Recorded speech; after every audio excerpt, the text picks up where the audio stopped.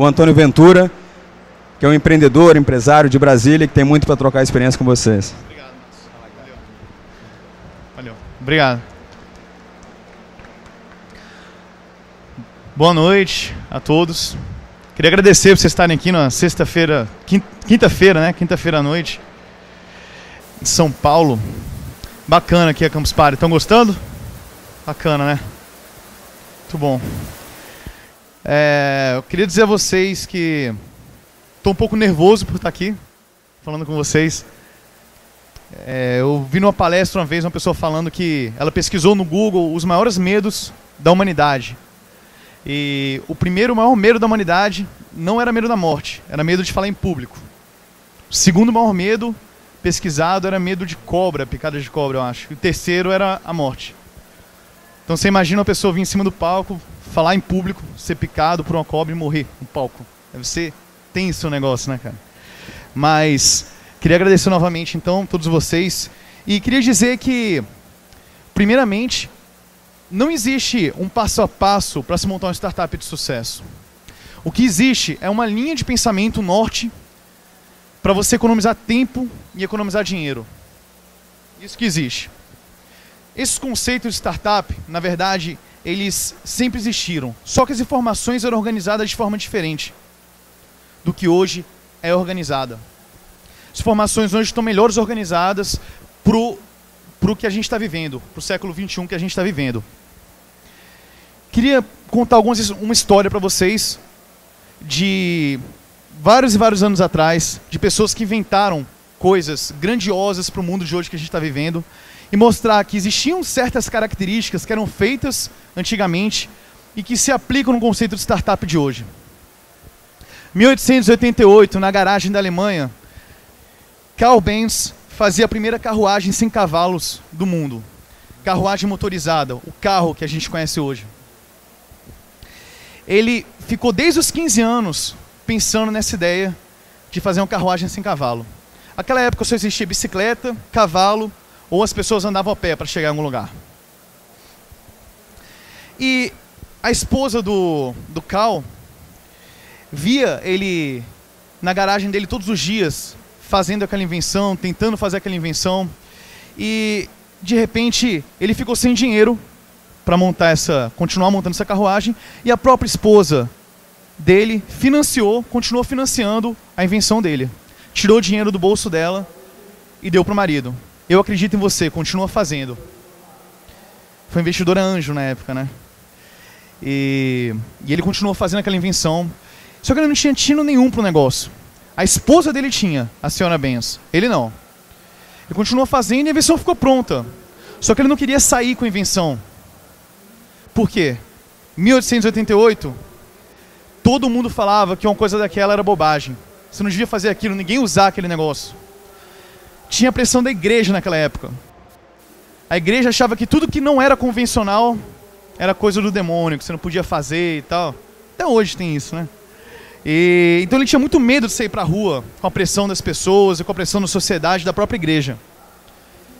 E a senhora Benz ficava revoltada com isso, porque ela investiu no marido dela e ela queria mostrar para o mundo aquela invenção maravilhosa, que era uma carruagem sem cavalo. Então, numa manhã, ela acordou sete horas da manhã, sem falar com o marido dela.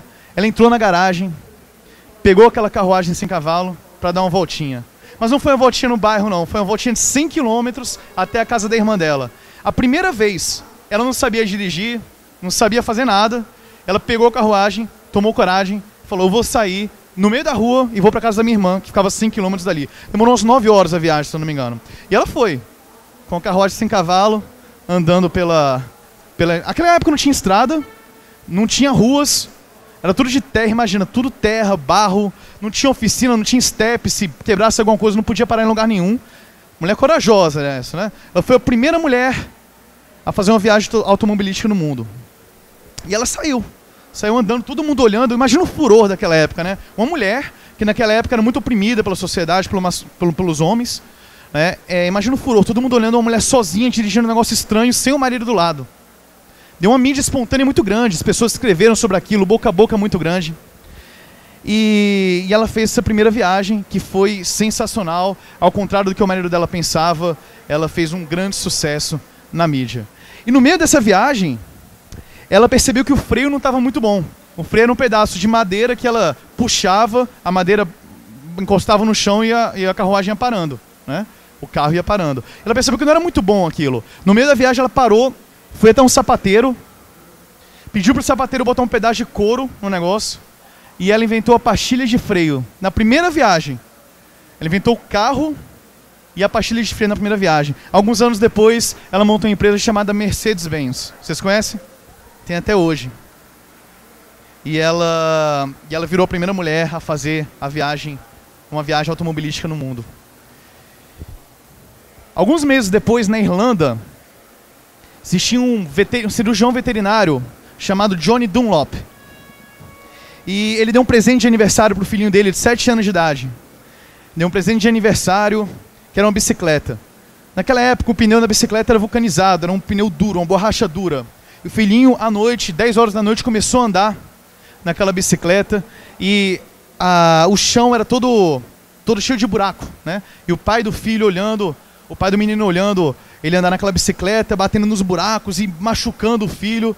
O pai do filho se irritou com aquele negócio e falou: Nossa, deu um presente pro meu filho, era para ser um negócio legal. Ele está sofrendo ali em cima da bicicleta, batendo nos buracos do chão. No mesmo, na mesma hora, umas 10 e meia, 11 horas da noite, ele abriu a clínica veterinária dele, foi até a clínica, pegou várias peças, várias folhas de borracha que usava para botar na mesa de cirurgia e começou a costurar aquela borracha em tubos tubos de ar. Começou a costurar. Foi costurando. Depois passou cola, onde ele costurou, para fechar lá o tubo. Depois pegou a roda da bicicleta, colocou um tecido envolvendo a roda da bicicleta e aquele tubo de ar. Envolveu toda a roda e deu para o filho testar. Era mais ou menos umas duas, três horas da manhã. Ele não aguentou, falou: Filho, testa aqui a bicicleta que eu arrumei para você. E lá surgiu o primeiro pneu de ar e o pneu que a gente conhece hoje nos carros de um cirurgião veterinário na Irlanda, em 1888 também. Foi uma, uma coisa incrível. É, alguns anos depois ele criou a empresa chamada Dunlop Pneus, que existe até hoje também. E fez várias, várias coisas bacanas aí para a humanidade. Passaram-se alguns anos e foram criadas algumas indústrias, algumas fábricas que produziam carros. E com esse, esse pneu da Dunlop, com esses carros que a Mercedes criou, Senna Benz criou. E em 1912, em Chicago, nos Estados Unidos, estava fervilhando lá o mercado, né? Chicago era a grande potência nos Estados Unidos naquela época. Era um mercado de era um mercado grande em, em várias áreas, né? Inclusive o mercado de carne era muito grande lá em, em Chicago. Tinha muita açougue em Chicago. Até que um gerente de uma grande fábrica foi até um açougue de Chicago, porque um amigo dele avisou para ele que nesse açougue tinham criado uma coisa nova. Um método novo de fabricação de coisas. Um método novo de processos, um método novo de trabalho. E o gerente chamado William foi até, essa, até esse açougue, entendeu o que era aquilo que o amigo dele estava falando. Quando ele chegou no açougue, ele percebeu que todas as carnes que vinham, todos os porcos, por exemplo, que chegavam no açougue, eram divididos em partes. O pé ficava com uma pessoa, a cabeça ficava com outro, o pescoço ficava com outra pessoa, e cada um fazia só aquele trabalho. Acabava que a pessoa ficando, ficava expert naquele trabalho, e era muito mais rápida a produção de, do que era produzido lá. E ele pensou, se, eu, se um açougue pode, se um açougue pode fazer isso, por que, que minha fábrica de, a fábrica de carro do meu chefe não pode também fazer? Ele pegou essa ideia e saiu correndo para falar para o chefe dele. O nome do chefe dele chamava Henry Ford. Que em dois anos ele pegou essa ideia que o William, gerente da fábrica, trouxe para ele. Em dois anos executou a ideia e conseguia produzir um carro depois de dois anos a cada 93 minutos, desde que fosse preto. Um carro a cada 93 minutos, com esse método de produção. Podemos dizer também que ele revolucionou o mundo e o país com esse método que ele, que ele criou. Então, quero dizer para vocês, gente, queria é, botar o primeiro slide, por favor. Quero dizer para vocês que esses processos, muitos processos do que é uma startup, já existia. Já, já existia antigamente. Você está com controle aí? Tem um controle aqui. Pode passar um slide, por favor. Esses processos já existiam antigamente. Por exemplo, a Mercedes-Benz, o que, que ela fez naquela época? Pode passar? Está aqui o controle? Ela teve foco, que qualquer empreendedor precisa ter foco para fazer tua startup. Teve senso de oportunidade, que eu vou explicar para vocês depois, aquele negócio de focar na dor ou focar é a vitamina ou aspirina, né? Você focar na dor ou focar na oportunidade de mercado. E não tentou, ser perfeito, que isso é vital para um startup hoje. Você não pode tentar ser perfeito no começo. Você não pode perder tempo. Você tem que ser rápido. O mais rápido possível quando você for montar sua ideia em prática. Pode. A Dunlop percebeu a dor do filho dele. Para ter uma ideia, você precisa entender a dor da outra pessoa, a dor daquele nicho específico.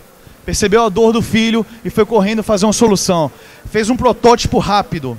Em algumas horas, não planejou muito, algumas horas ele foi lá, costurou o tubo de ar, botou o tecido no tubo na roda e fez o protótipo para o filho testar. E criou a hipótese e validou. Henry Ford, essa era, era a fábrica do Henry Ford na época. Pessoal, cada um fazia um trabalho apenas, né? Ficava expert naquele trabalho. Ele padronizou o processo, criou um modelo repetível e escalável, que é o ponto alto de qualquer startup. Você precisa de escalabilidade na sua startup, daqui a pouco a gente vai falar também sobre isso. E executou a ideia. Aquela longa história, que não, adianta você só ter ideia. Uma ideia não vale quase nada. Ele pegou a ideia e executou. Não foi ele que criou. A ideia já existia, na verdade, em Veneza. Há muitos anos atrás, os navios já eram produzidos em Veneza dessa forma. Processo de produção em massa. Era quase produzido um navio por dia, né, há uns 300 anos atrás. Aí ideia se repetiu no açougue e depois repetiu no Henry Ford. E aí criou a história que todo mundo sabe, Revolução Industrial e tudo mais. Tá bom o negócio ali, hein? O que é... Mas, então, esses processos já aconteciam há muito tempo atrás. O que diferenciou era que foi organizado de uma forma diferente as informações para que a gente trabalhasse com startup. Então, o que é uma startup? Segundo Yuri, de Tarri, da aceleradora.net, quem conhece o Yuri? O Yuri é um grande mentor aí da, aqui brasileiro, que ajuda tá até aqui na Campus Party. Um startup é um grupo de pessoas à procura de um modelo de negócio repetível e escalável, trabalhando em condições de extrema incerteza. O que é escalável? Sabe me dizer o que é escalável? Escalabilidade significa produção não ter a ver com lucro. Meu lucro não é diretamente proporcional à minha produção. Isso é escalabilidade. Um restaurante, você vai pedir um prato à la carte no restaurante, por exemplo, se entrar um cliente para pedir um prato, um garçom vai atender e uma pessoa vai fazer. Se entrar dois, três, quatro, ainda um garçom vai atender e uma pessoa vai fazer. Agora, se entrar um pouquinho mais, vai precisar talvez de dois cozinheiros, dois garçons. Se entrar mais gente, vai precisar de três cozinheiros, quatro cozinheiros, cinco garçons e vai aumentando. A produção é diretamente proporcional ao, ao lucro, né? Os custos que você tem, desculpa, os custos que você tem na produção é diretamente proporcional ao lucro. Né? Então, o custo vai aumentando e a produção e o, e o lucro vai aumentando também, junto com o custo. O que é um negócio escalável? Já, alguém já comprou algum e-book na internet? Quem já comprou e-book? Ah, vocês não gostam de ler, gente? Ah, bacana, tem mais ali. O e-book é completamente escalável o negócio do e-book. Por quê? Você tem um trabalho só, tem um custo, uma vez só, você faz o e-book, cria um site básico, simples, cria um sistema de pagamento onde a pessoa paga para você e o e-book vai automaticamente para o e-mail. E aí não importa se uma pessoa comprou o e-book ou 10 mil pessoas compraram o e-book o lucro vai aumentar e o custo vai continuar praticamente o mesmo. Isso que é escalabilidade. O lucro aumenta, o custo continua praticamente o mesmo. O e-book, você vende um e-book na internet, é totalmente escalável. Entenderam o conceito? Deu para entender? Por que fazer uma startup? O Brasil está crescendo muito rápido. Existem muitos usuários de internet. A gente está em torno de 94 milhões de usuários na internet hoje. A gente tem mais ou menos 200 milhões de pessoas no Brasil em torno de 15% das 200 milhões de pessoas são miseráveis. São pessoas que não têm nada, nem um laptop, nem uma conexão de internet. Então você tirei 30 milhões de pessoas. Ou seja, temos 160, 170 milhões de pessoas ainda que não não usam internet. Temos 80 milhões de pessoas ainda que não usam a internet. 170 milhões de pessoas para atingir, 94 milhões de pessoas que é, a gente que usa a internet hoje, ou seja, temos quase o dobro de pessoas para atingir ainda no Brasil. Temos muita oportunidade. Obviamente tem muita pessoa mais velha que não usa internet, mas vão nascendo outras pessoas e, e vai suprindo esse número também. Então a gente tem muita gente para atingir ainda, está crescendo quase que exponencialmente o, o mercado online. O faturamento alto das empresas novas. A Coca-Cola demorou anos e anos para ficar super valiosa como é hoje. O Google demorou talvez seis anos no máximo para ficar muito valioso. O faturamento ano passado do Google, o Google faturou 460 dólares por segundo. Foi o faturamento do ano passado do Google. Faz as contas quanto é que dá. Então, é, é uma coisa muito mágica, né? A gente olhar essas startups, olhar essas empresas que começaram aí quase do zero, cresceram muito, conseguiram investimento ou não, e conseguiram crescer. E, e muitas marcas ficaram muito mais interessantes e, e valiosas do que a própria Coca-Cola, que ficou mais de 100 anos aí no mercado para trabalhar com com a, sua marca. Né? Por que Coca-Cola não é tão valiosa assim? É, é valiosa, mas não, é, não se compara com Google. Porque eu não compro 300 reais de Coca-Cola toda semana ou todo mês. Agora eu pago para o Google toda semana 300 reais para posicionar meu nome em primeiro lugar lá no Google quando alguém for procurar. Imagina a humanidade toda pagando por palavras e por nomes. Você não acorda no meio da noite com dor e vai tomar Coca-Cola. Agora você acorda no meio da noite com dor, você vai no Google, senta, escreve dor na batata da perna direita, da Inter. E aí sai a foto de um suposto câncer ou tumor, alguma coisa que você possa ter na perna, e no dia você vai no médico, leva a foto para ele e mostra aqui, ó. O Google é mais valioso por isso. É, é preciso entender o momento que vivemos. A, as startups não estão só na internet, elas também estão na internet. O lugar é o lugar mais frequente que as startups estão são na internet. Mas elas estão fora da internet também. E se usam e podem ser usados muitos conceitos de startup em negócios offline também. Um conceito de você ser rápido, um conceito de você baixar custo, o conceito de você economizar tempo. Lembra que eu falei no começo da palestra? O ba a base da startup, a base dos conceitos de startup qual que é? É você economizar tempo e economizar dinheiro. Essa é a base. Então você pode usar isso aí para é, esses conceitos que a gente vai falar daqui a pouco para qualquer tipo de negócio, offline ou online. A maioria deles, não, não todos. Não existe um passo a passo, novamente, para se criar uma startup de sucesso, existe sim uma linha de pensamento, um norte, que também ah, vale a pena seguir, mas vale a pena vocês também pensarem em novas formas, formas diferentes. Não vale a pena vocês ficarem naquela linha de pensamento. Ah, é, o livro está escrito assim, o Antônio está falando assim, então vou fazer só isso até o fim. Você tem que inovar, você tem que tentar pensar, ver outros áreas e pensar coisas diferentes. Isso aqui é só um norte para vocês seguirem.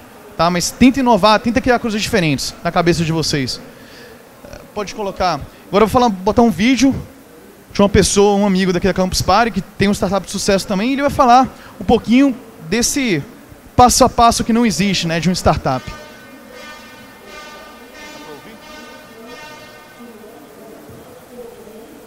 De empreendedorismo, linha startup, BMV, MVP, ou seja, tudo que a gente usa aí no dia a dia para desenvolver os negócios. Uh, eu, eu tenho uma ideia um pouco fora da curva disso, porque a minha visão é o seguinte, toda essa metodologia ela é importante e hoje eu diria que ela é essencial, porque ela diminui a sua chance de erro. Mas as pessoas viviam antes sem ela, ou seja, as pessoas já faziam isso por necessidade, por circunstância, por instinto, ou seja, elas já usavam o Lean, o conceito de tudo enxuto, de economia, ou seja, se eu não tenho dinheiro para assessoria de imprensa, eu não vou ter assessoria de imprensa, eu mesmo faço. Se eu não tenho dinheiro para comprar pesquisa, eu mesmo faço a pesquisa. Né? Se eu não tenho dinheiro para o melhor servidor, eu vou pegar o servidor menor por enquanto. E na hora que o negócio justificar, eu consigo contratar o melhor servidor. Ou seja, todos esses conceitos de teste, ou seja, por que, que eu coloco é, um produto no mercado com metade das features que ele poderia ter? Porque custa caro fazer todas as features, ou seja, a circunstância econômica colocou eu nisso. Então o Lean Startup ele veio, pegou todo esse bolo de experiência que já tinha e juntou e colocou em termos de metodologia. O que ajudou, claro, muita gente, porque ficou muito mais simples as pessoas errarem menos. Né? Antigamente você fazia por intuição, hoje você tem um livro, dois livros, três livros que falam sobre isso, que te ajuda a monetizar da maneira correta, ainda que você não tenha uma formação de negócios de faculdade, por exemplo. Né? Te ajuda a olhar o mercado com o olho de observador, de empreendedor, sem necessariamente você ter 10 anos de experiência em negócio, ou seja, facilitou a entrada. E, claro, conjugou com o mundo digital, que só existe agora, ou toda a potência só existe disponível agora, os custos baixos só existem agora, ou seja, todo negócio digital precisava de um ecossistema, né? Precisava primeiro da tecnologia, depois do acesso à tecnologia, depois do custo baixo dessa tecnologia. E aí chegou a cereja do bolo, que são as metodologias de empreendedorismo de informação de negócios, de novos negócios. Você vai colocar agora, bom, tudo no Canvas, você vai visualizar isso em termos de design thinking, você vai montar toda a sua estrutura baseada no Lean Startup, você vai testar produtos e errar rápido. Né? O conceito de errar rápido é super humano, né? Você aprende quando é criança, né? Que você cai e levanta logo, porque você ficar no chão chorando não vai resolver. Esse errar rápido vem da infância. Só que agora está normatizado, ou seja, tem uma norma, tem um parâmetro, tem um benchmark de comparação, tem cases de sucesso que seguiram a forma. Ou seja, para quem hoje está em casa sonhando com a sua ideia genial, com a sua proposta de inovação, com a sua, o seu desejo de empreender, você não vai mais sair na rua sozinho e tomar chuva não, você vai sair sabendo que vai chover, porque alguém já escreveu isso, você sabe analisar o mercado, você sabe que isso já foi feito em algum lugar. E não pense por isso que a sua ideia é inédita. É difícil ser inédito. Você pode ser um pouco diferente ou um pouco melhor na execução, mas inédito, desde os gregos é difícil ser, né? Tudo eles já falaram, já pensaram, já disseram, a gente só veio fazendo ajustes aí ao longo do tempo. Para empreender a mesma coisa, você não vai ser inédito. Mas pense que pequenas diferenças fazem a grande diferença que é o negócio dar certo pequenos ajustes de modelo de negócio fazem o negócio bombar de maneira que alguém há cinco anos atrás não conseguiu fazer em outra circunstância ou em outro lugar. Então é isso. O Mário falou um pouquinho, empreendedor de sucesso aí, estava aqui na campus, falou um pouquinho da opinião dele, que ele acha desse momento que está acontecendo nas startups e que a gente comentou um pouquinho aqui. Não existe passo a passo para se criar uma startup. Número um, Primeira coisa que, na verdade, não é um passo a passo, é o que eu aconselho fazer, porque eu fiz, eu tentei fazer isso também quando fui criar algumas startups minhas. Mais tarde a gente vai conversar um pouquinho sobre startups que já foram criadas, que, que eu validei aí.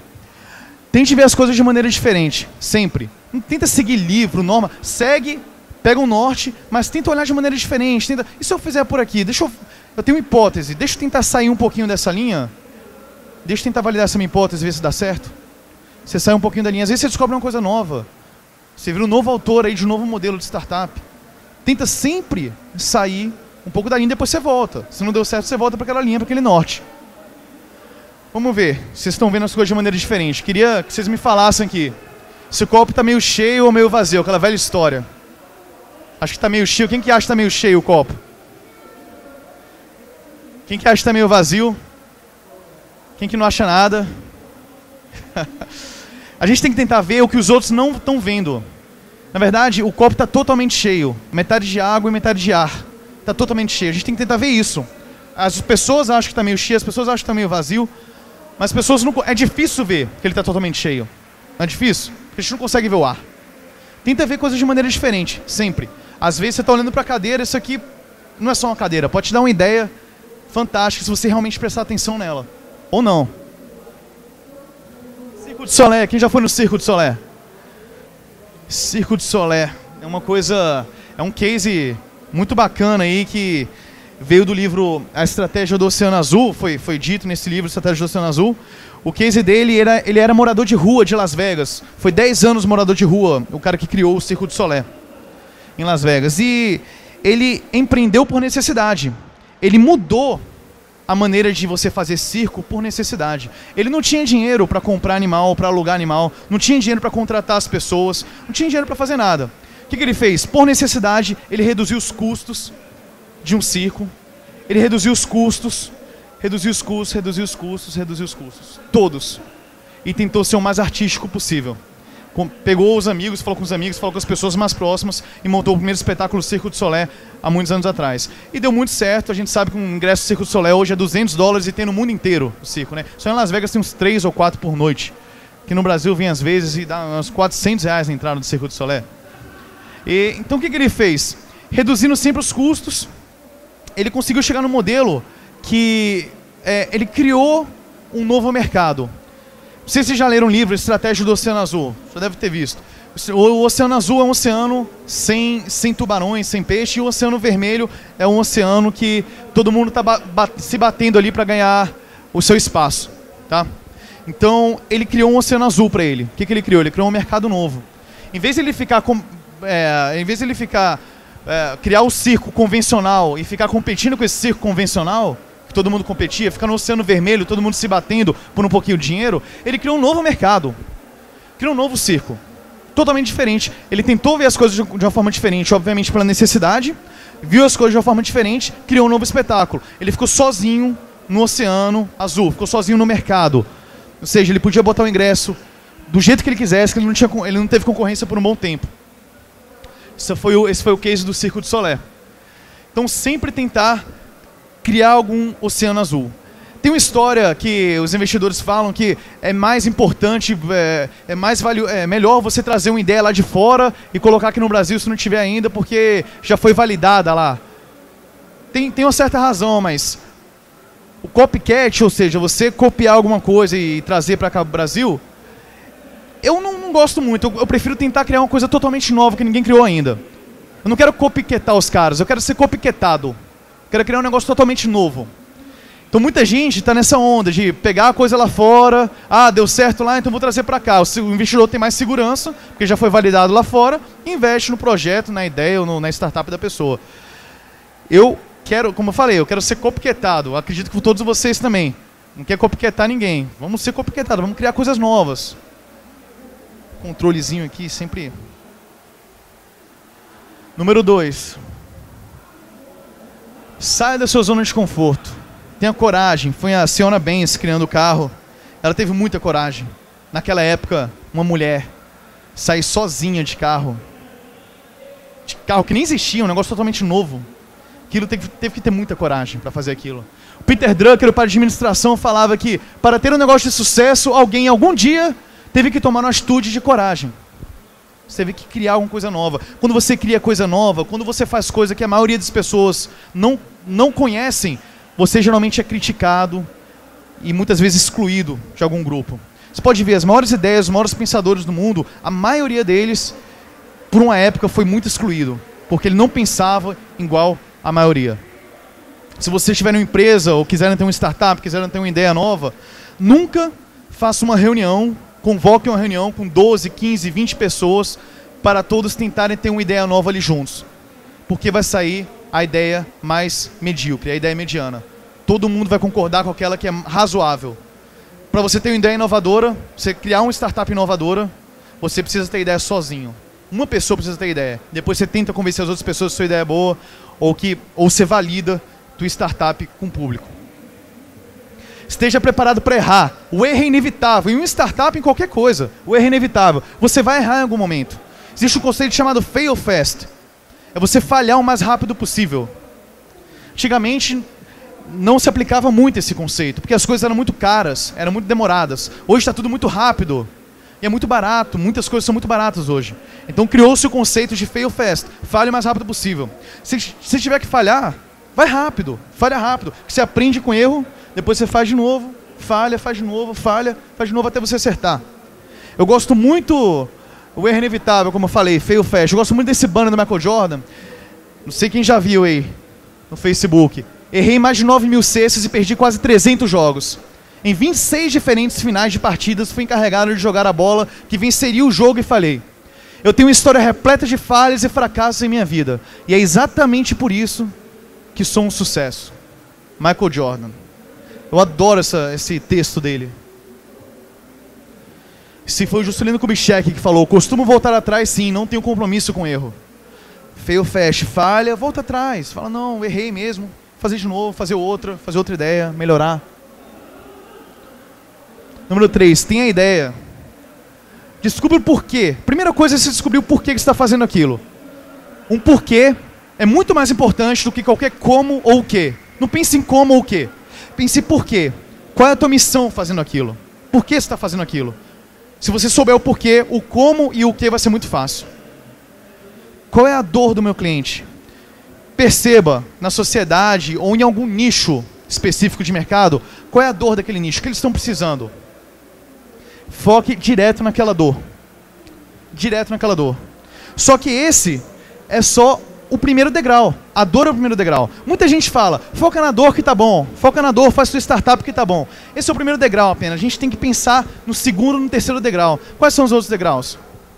Segundo degrau, pensar no sucesso do meu cliente. Não adianta eu focar só na dor dele. A minha dor, eu estava no hotel aqui no Holiday Inn, estava com o ar-condicionado quebrado. Qual é a minha dor? Minha dor é que tá, não está gelando, está quente, está sem ar-condicionado. Vai lá uma pessoa, vamos supor que não tivesse ar-condicionado em nenhum quarto. Uma pessoa criava um ar-condicionado e botava lá no, no quarto dos hotéis. Seu nome é dor, correto? O que, que eu preciso para atingir o sucesso do meu cliente? Tem que perguntar o porquê.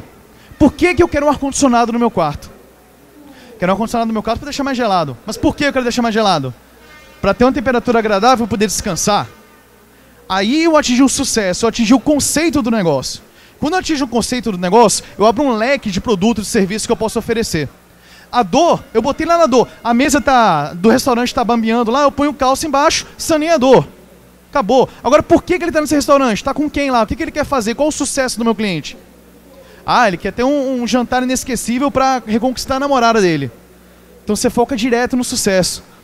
Porque se eu focar na dor, no ar-condicionado, eu vou ficar só vendendo o ar-condicionado o tempo inteiro. Eu preciso focar no sucesso, eu abro um leque imenso de produtos e serviços que eu posso oferecer dentro daquele conceito. 3M, Tramontina e várias outras empresas, as Apos. Quem conhece as Apos? As Apos estavam querendo abrir uma companhia de avião. O que, que tem a ver com sapato? Nada. Mas o, o, conceito deles é fazer o cliente feliz. Esse é o conceito das Apos. A dor, qual que era a dor? No começo das Apos, quando eles foram tentar validar a hipótese deles, eles pensaram: é, eu, será que vão ter pessoas que compram sapatos pela internet? O que, que ele fez para validar a hipótese dele? Ele botou um site, tirou foto da loja perto da casa dele dos sapatos e botou essa, essas fotos no site. E ele vendia preço de custo os sapatos. Se alguém comprasse no, na internet, ele ia na loja, comprava da loja e enviava para a pessoa. Ele começou dessa forma. Ele estava sanando uma dor, ele validou a hipótese, estava sanando uma dor. E ele percebeu ao longo, ao longo do tempo que o negócio é o sucesso do cliente. Ah, por que, que ele está comprando sapato pela internet? Ele foi tentando estudar a pergunta. Por quê? Ah, para para ter mais tempo livre, provavelmente. Ele não quer sair de casa para comprar sapato, experimentar. Ele vai ter tempo livre, praticidade e tudo mais. E por que ele quer ter tempo livre? Provavelmente para ter, para ser feliz, para ter tempo, mais tempo com a família dele, mais tempo trabalhando, ganhar mais dinheiro. E aí o conceito deles foi felicidade. Se ligar para Zappos hoje, falar, eu quero um sapato tal. Pega o Skype de vocês chegar em casa e liga, fazendo um teste. Eu quero um sapato tal. Ah, o sapato da Nike. Não tenho esse sapato. Um minutinho, senhor. Ele procura lá no Google, procurou, entra no e-commerce do concorrente e fala, olha, nesse e-commerce aqui tem um sapato que o senhor está querendo. Eu, eu, o e-commerce é seguro, o senhor pode comprar nele e vai chegar o sapato que o senhor quer. Por quê? Porque a Zappos não está preocupada em ganhar 20 dólares de lucro no sapato. Ela está preocupada com a felicidade do cliente. Um sucesso, com chegar a um sucesso. Então esse negócio de focar, na minha opinião, focar na dor, você focar é ruim nisso. Tem que focar na dor. Mas tem que subir um outro degrau. Focar no sucesso do meu cliente. E aí, é, eu queria falar um pouquinho também de ideia que ela tem que ter um vínculo com o empreendedor, a ideia. Por que você está fazendo isso? Que a gente falou aqui. Qual a missão? Qual a sua missão? Por que você quer botar essa ideia no ar? Queria que você botasse, por favor, o vídeo do Samir, do crânio.com. Ele falou um pouquinho sobre isso.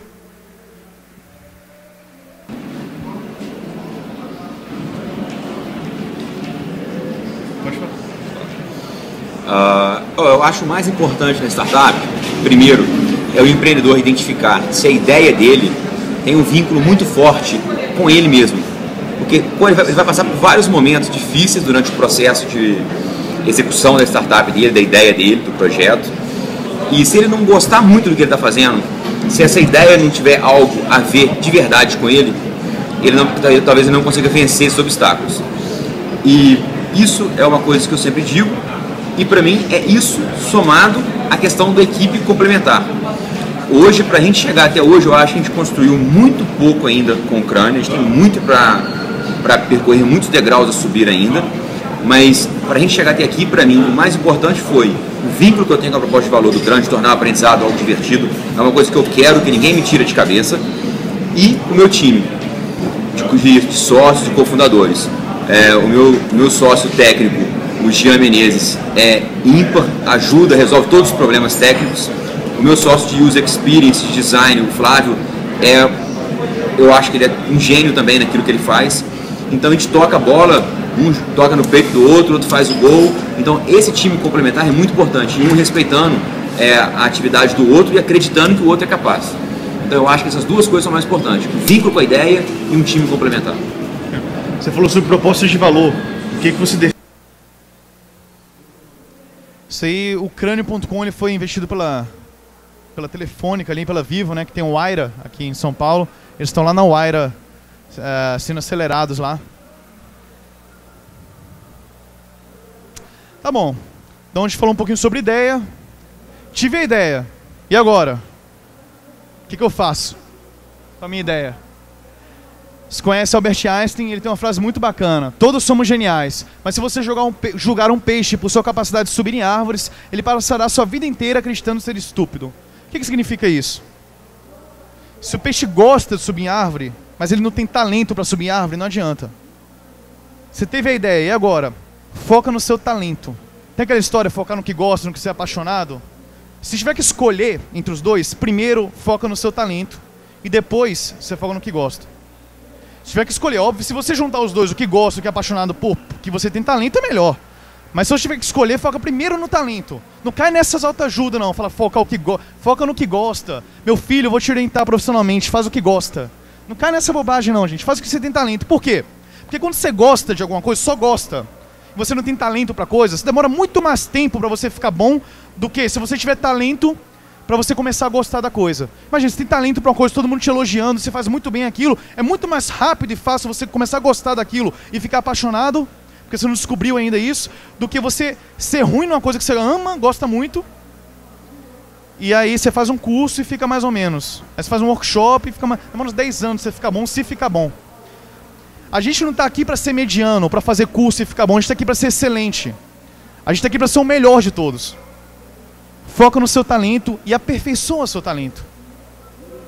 Porque senão, vai ser aquele negócio. O menino, 13 anos de idade, o menino adora andar de kart. Adora. Aí o pai já acha que é o novo Ayrton Senna, já patrocina o kart do menino. Só que ele só gosta, não tem talento. Aí vai andando, andando. Daqui a pouco o menino está com 35 anos de idade, quinto colocado no campeonato de pinhais de kart. Ele só gosta de andar, mas não tem talento para coisa. Você foca no que você tem talento. É o primeiro passo. Se puder juntar uns dois, melhor. Isso quem fala muito é meu amigo Valdez Ludwig, um palestrante muito bacana aí do brasileiro. Quem conhece? É muito bom isso aí, que dá um norte muito bom. O Sebrae está tá fazendo workshops, né? Tá fazendo uh, muitos cursos ali no, no stand Like a Boss, ali perto da entrada que totalmente focado no Canvas. Cada sala do Like a Boss é uma parte do Canvas, é um quadrado. Né, que o Yuri Gitarri, da aceleradora.net e o Maurílio dão esses workshops gratuitamente ali na, na Campus Party. Aqui, ali na entrada da Campus Party. Eu, eu aconselho vocês todos a irem lá fazer esse curso com ele. Não vou entrar muito no Canvas, vou sugerir vocês irem fazer o curso com eles, mas é uma ferramenta que vai te dar um norte muito bacana para você criar seu negócio. Um negócio rápido. E é outra coisa, você sempre vai tá sempre mudando isso aí. Você não faz uma vez só não. Você faz sempre. Montou tua startup, validou tua hipótese, montou tua empresa, você continua fazendo, vai mudando, sempre. Você não para, não para. Não é porque sua empresa está bem que você vai continuar com ela. Às vezes sua empresa está muito bem, você quer mudar alguma coisa, você quer inovar. A hora de inovar é quando você está bem. Não espera coisa mal para você mudar, para você inovar. A hora de inovar é quando você está bem, está lá para cima. Então você está bem, ah, eu quero testar uma nova hipótese minha. Aí você põe, valida e põe no Canvas, muda alguma coisa do Canvas.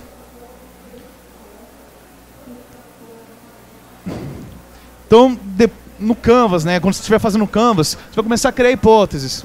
Por exemplo, as apps. Mulheres compram sapatos, mulheres compram sapatos na internet. Você cria hipótese e vai validando.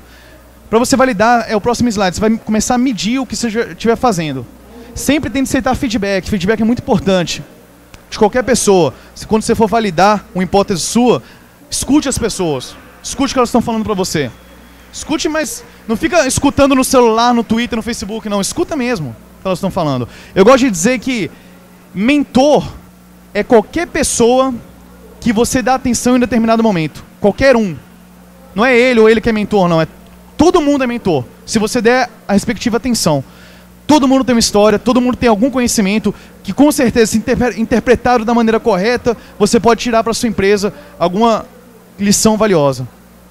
Mentor é qualquer pessoa que você dá atenção em determinado momento. Aceite sempre o feedback das pessoas. Pedi um pouquinho para o vídeo do, do Mic 12. Silvia Valadares, da Microsoft, falar um pouquinho sobre sempre aceitar feedback. Opinião dela sobre, sobre isso. É importante, muito, muito importante conhecer o mercado, o mercado que você quer atuar. Ter um bom network, isso faz toda a diferença. Ser muito objetivo na hora de estar conversando com um parceiro, com um investidor e ter foco naquilo que você defini, definiu que você vai fazer. Não, não adianta ficar é, burilando a ideia, pensando nas melhores possibilidades. Joga no ar o mais rápido possível. O que você tem em mãos, aceita feedback, não fica com medo que, ai, vão roubar a ideia, a ideia não pertence a ninguém. Eu tenho uma ideia aqui, alguém tem a mesma na China, nos Estados Unidos, joga no ar, testa, valida, pega feedback, mantém a humildade e sai ajustando na medida que for necessário. O senhor falou um pouquinho assim, é muito importante né, esse processo que você conta a sua ideia para as pessoas, fala a sua ideia para as pessoas, aceita feedback e realmente escuta a pessoa. Não tem medo de roubar a sua ideia, não. Você fala assim, pô, se roubarem minha ideia, eu faço uma melhor. Muito melhor você falar isso do que você ficar com medo de roubar a sua ideia. É, então, então dá, tá dando para pegar direitinho, estou falando pausadamente, bem. E o conceito sai do prédio, né? Que você teve a hipótese, sai do prédio. O ambiente desbloqueia a criatividade. Seja mais informal, pergunte, aceite feedback, sai do prédio, entreviste pessoas. Crie hipótese, vá perguntar para as pessoas na rua se elas comprariam o seu produto, se elas comprariam o seu serviço.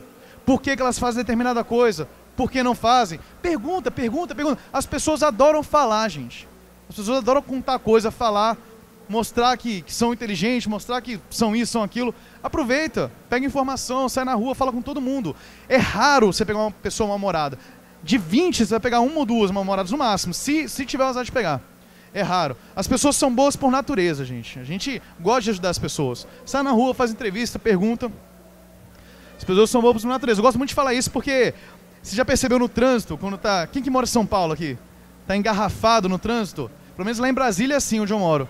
Tá engarrafado, você quer passar, dá seta para entrar na, na, faixa do lado.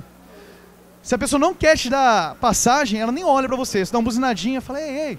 O cara nem olha para você. Se olhar, ele dá passagem. Ele olha para você e fala, pode passar. As pessoas são boas por natureza, não conseguem olhar para o rosto de outra pessoa e. É difícil. Tem, mas é difícil. Consegue olhar para o rosto de uma pessoa e falar, não, vai passar não, pô. Não quero que você passe, não. Tem uma pizzaria lá em Brasília chamada Pizzaria Dom Bosco. Melhor pizza da cidade. Desde 1960 lá. Chega um monte de gente lá, 50, 60 pessoas, numa bancada de um pé sujo, no bar pé sujo, e pede a fatia de pizza. Né? Ninguém anota quantas pizzas a pessoa comeu. Ninguém anota. Você vai pedindo uma, duas, três, quatro. E tem muita gente pedindo. Ninguém anota. Chega lá no caixa, o dono está no caixa e pergunta: quantas pizzas você comeu? Eu não tenho controle nenhum todo mundo fala. Tem uma ou duas pessoas que mentem, talvez, talvez mintam, não sei. Mas todo mundo fala e o cara tá milionário, ganha muito dinheiro com a pizza dele. Porque as pessoas são boas por natureza. É difícil você achar realmente pessoa, uma pessoa ruim. É difícil. A gente acha isso. Por causa das épocas dos nossos pais, todo mundo falava pra gente que existe muita pessoa ruim no mundo e tal, mas é difícil achar. Né? Então, tem uma propaganda Coca-Cola que fala os bons são a maioria. Não tem um negócio desse? Um, banner? É verdade isso. Então saia do prédio, pergunte e aceite feedback. Tente validar suas hipóteses. Crie o MVP o mais rápido possível para validar suas hipóteses. O que é MVP? É o produto mínimo viável. É o mínimo que você pode fazer para gerar valor para a pessoa que vai usar. Eu quero fazer um e-commerce de sapato. O que, que o, o Zappos.com fez? Ele não gastou dinheiro, ele não contratou ninguém, ele economizou tempo botou o mais rápido possível o MVP no ar. Ele criou um site e ele não ficou colocando produto, comprando produto, arrumando depósito para colocar os produtos. Ele não ficou contratando gente para melhorar o site, para dar suporte para a pessoa que ligar perguntando alguma coisa. Ele foi na loja vizinha, tirou foto da vitrine dos sapatos da loja vizinha, e colocou essas fotos no site das apps. Se alguém comprasse, ele ia na loja, comprava o sapato e enviava para a pessoa. Por quê? Porque ele estava validando a hipótese dele. Tem pessoas que querem comprar sapatos na internet? Tem. Quem são as pessoas? Você vai medir para saber quem são as pessoas. Sabe o que você quer medir e meça tudo o que for possível. Para medir, tente isolar as variáveis. Ou seja, quem está comprando meu sapato? Dá um exemplo. Clique aqui se você for homem, clique aqui se você for mulher. Ele já começa medindo alguma coisa. Ele faz uma outra landing page, também para vender sapato, isolou uma variável e fala assim: ele tem uma hipótese, outra hipótese falando, será que as pessoas preferem sapatos pretos ou brancos? E aí ele faz outra landing page, clique aqui se você quiser comprar sapatos brancos, clique aqui se você quiser comprar sapatos pretos. Põe o Google Analytics rodando. Tem várias formas de você medir, tá, gente? Isso aqui eu estou dando exemplos para vocês pensarem. Você pode entrevistar as pessoas, pode fazer landing pages, bota o Analytics para ver quantas visitas tem. Tem várias formas de você medir. Estou dando um exemplo para vocês aí. Sempre tem que isolar as variáveis. Tem uma hipótese, pensa na hipótese, bacana, testa uma hipótese, se for possível. Se não, tenta duas, três. Aqui é um funil de vendas, né, que serve também para medir. Quantas impressões saíram no Google do meu site? Eu paguei o Google AdWords. Quantas impressões saíram? 100 mil. Quantos cliques eu levei? 2 mil.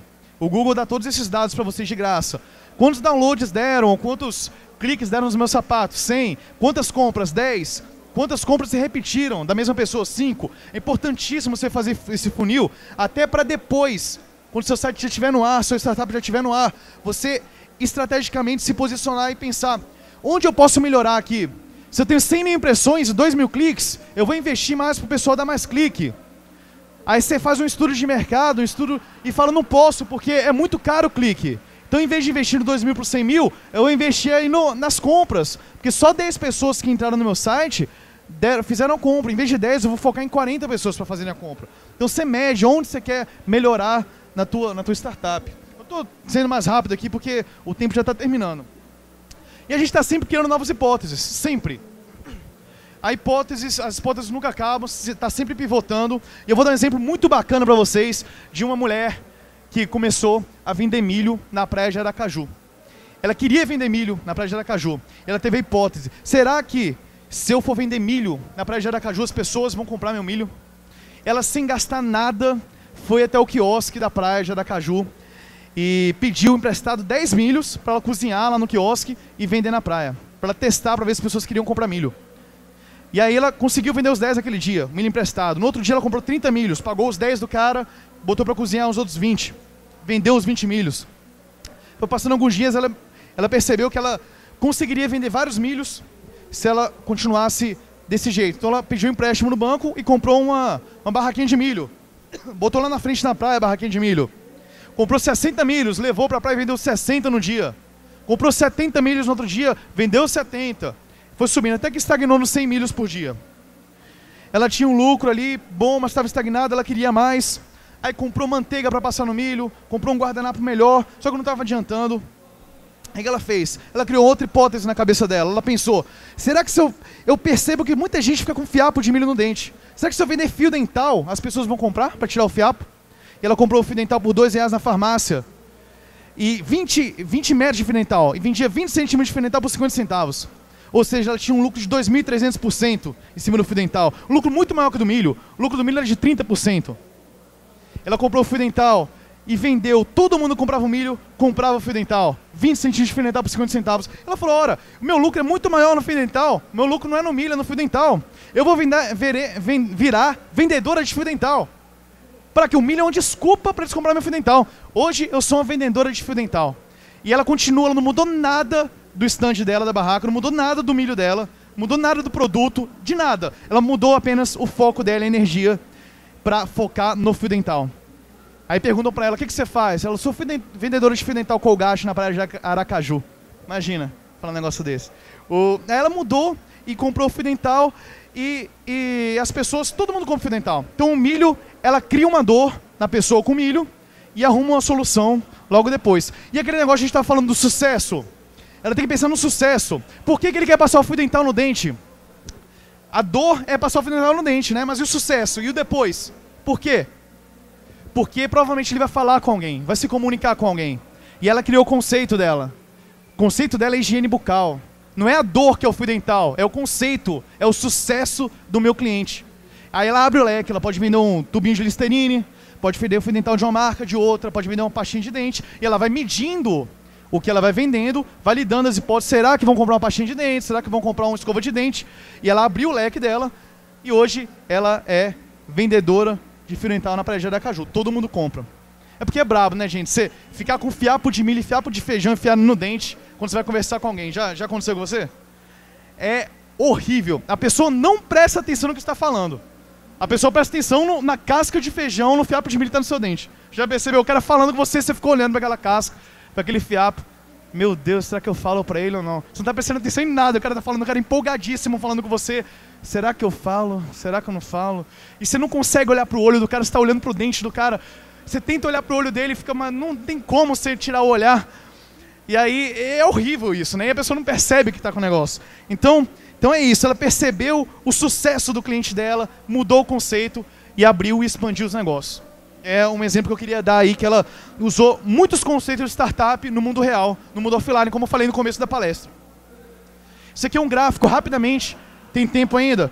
É um gráfico rapidamente que tudo isso que a gente falou, esse gráfico se repete é ideia, você constrói o MVP, tem um produto, mede, tem as informações e aprende. Deu certo? Não deu. Então volta tudo, tem outra ideia, outra hipótese, constrói produto, mede, informação e aprende. Deu certo? Não, faz tudo de novo, até dar certo. E esse gráfico é eterno. Se tiver outra hipótese, você vai fazer isso aqui também. Primeiro você faz, depois você pensa. Faz, mede e aprende. Antigamente era o PDCA, né? Primeiro você planejava, depois você fazia. Hoje em dia não. Tudo é muito rápido hoje na internet. Tudo é muito rápido no mundo hoje. Primeiro você tem que fazer. Tem um, um desafio chamado Marshmallow Challenge lá nos Estados Unidos. Que eles dão um negócio de marshmallow grande, é, 20 pedaços de espaguete cru, barbante e esparadrapo. Você tem que botar o espaguete em equipe o mais alto possível. Né? Com, você tem 18 minutos para isso. E perceberam que as crianças se davam muito melhor que os adultos para fazer esse marshmallow. Por quê? Os adultos planejavam. Vou fazer uma estrutura aqui, bonita, vou fazer isso aqui e tal. A estrutura caía e eles não tinham mais tempo de refazer. As crianças, elas começavam fazendo já. Fazer, vou fazer, não deu certo, fazer de novo, não deu certo, aprendi, vou fazer. De... As crianças conseguiam as, as maiores alturas. Está no site marshmallowchallenge.com. Depois dá uma olhada lá. Validei minhas hipóteses. E agora? Agora é hora de encontrar pessoas para sua equipe. Talentos diferentes para tocar seu projeto. Trabalhar em grupo ou trabalhar em equipe? Na sua equipe você vai trabalhar em equipe, não vai trabalhar em grupo. Grupos se juntam os iguais. As pessoas da mesma afinidade, por isso que dá errado. Você tem que trabalhar em equipe. Na equipe, às vezes tem pessoas que se odeiam na equipe, mas tem talentos diferentes em busca de um mesmo objetivo. Equipe de futebol, tem gente que se odeia lá dentro. Mas ele não vai fazer o gol porque não gosta do cara? Não vou fazer o gol. Por quê? Porque eu não gosto de você. Pô, o cara vai fazer o gol porque é bom pro time todo. Se fosse Grupo, grupo não, as pessoas são da mesma afinidade, geralmente dá errado, porque é, a equipe, as pessoas não têm talentos diferentes para chegar ao mesmo objetivo. Tente contratar pessoas que são melhores que você, isso é uma regra básica da administração, isso é administração antiga que se aplica para hoje. Ainda tem gente que faz errado, não contrata pessoa pior que você, por favor. Contrata pessoa melhor que você. Senão você vai fazer uma equipe pior, pior, pior, pior e acabou a tua equipe. Contrata gente que é melhor que você, cara para você fazer uma equipe melhor. É claro isso. Cria um ambiente bem-humorado, saudável no seu time. Mal humor é mortal para qualquer equipe. Não contrate gente mal-humorada para sua equipe, porque ela envenena a sua equipe toda, envenena a sua empresa, a sua startup toda. É horrível, acaba com qualquer, qualquer empresa. Um cara mal-humorado que chega rosnando de manhã na empresa, não fala com ninguém. É horrível. A sorte é que esse tipo de pessoa não passa 24 horas assim. O mal-humorado não passa. Ele pode passar 8 horas dentro da tua empresa, tua startup é assim, mas 6 horas da tarde, ele põe um vestidinho, vai ali pra Rua Augusta. Não tem a menor dúvida que vai, cara. Porque o cara mal-humorado é, é, é brabo. Não tem como você passar 24 horas do seu dia desse jeito. é verdade, pô. Esses caras aí são brabo. Antes de colocar sua startup no mercado, esteja preparado para aturar, se dedicar a todos os seus clientes. Gabriel, de 9 anos, está no Campus Mídia. A tia dele da imprensa jovem está perdida também, está procurando ele. Quer que eu fale aqui agora? Sim. Pode, claro. Gente, tem uma criança de 9 anos, o Gabriel. Ele está no Campus Mídia. A tia dele é da imprensa jovem. Se alguém conhecer, por favor, o menino está no Campus Mídia, tá? Gabriel é o nome dele. Obrigado. Se alguém conhecer, para avisar para Renata, que tá perdido aí. É, esteja preparado para aturar todos os seus clientes. Tem muito cliente chato quando você monta uma empresa, monta uma startup, tem muita gente chata. Você vai ter que aturar todo mundo, vai ter que responder e-mail de todo mundo. Tem startup, tem site e-mail que a pessoa escreve no assunto do e-mail. Não sei escrever e-mail, como é que eu faço?